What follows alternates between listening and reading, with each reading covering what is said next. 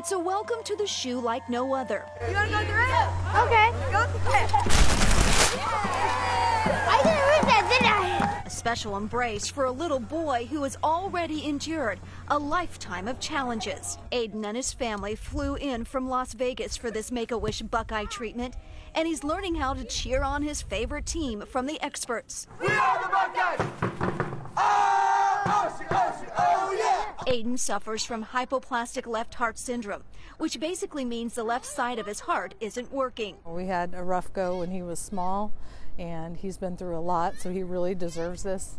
Um, he loves his sports. He won't be able to play football. That is awesome.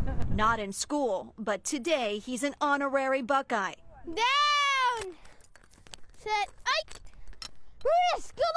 Aidan fell in love with the team because mom and dad love them too. When he was born, that's what we just kept doing, watching and watching, and so that's all he knows. Go, Aidan! But his wish to see a game has become a true Buckeye experience. I got to take a tour around the Woody Hayes practice facility, and um, and I've been able to meet all the football players. So who is your favorite player to meet?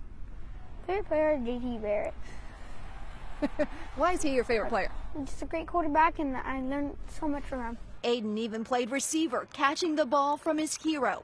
He says he relates to this team Because they play tough and I play hard, just like them. Go Bucks! and says he's able to overcome his challenges inspired by their hard work. They have really changed my life. Oh,